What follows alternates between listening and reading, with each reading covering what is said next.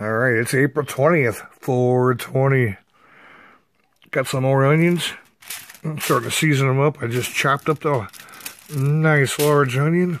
And we're getting ready to put these uh, beautiful Italian sausages on the grill. Want you to know about that, man. Let these babies cook down.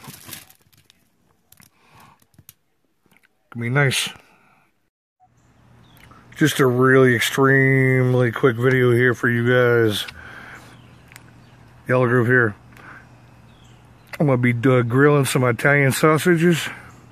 Johnsonville, of course. My go-to brand.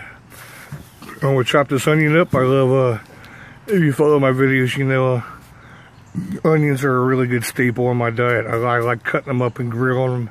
We're going to do some grilled onions and uh, Johnsonville uh, Italian sausages. And uh, this should be pretty damn good. Happy 420, everyone. Happy 420. Storms are coming, so I might have to either wait for the storms or cook after the storms. Either way, it don't matter. But I got this beautiful onion, big old onion. We're, we're going to chop this baby up and grill it. And then we're going to add the uh, onions on top of the uh, Italian sausages as they cook and you guys will see a grill out video. Just love grilling. Love grilling. Beautiful day. Clouds are coming in. Another storm is rolling in. And uh, bada bing, bada boom. Yeah, boy.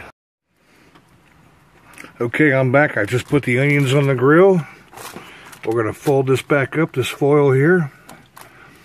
Close it up make a nice little pouch and let them cook. And then we're going to put the uh, Johnsonville Italian sausages on. It's going to be killer.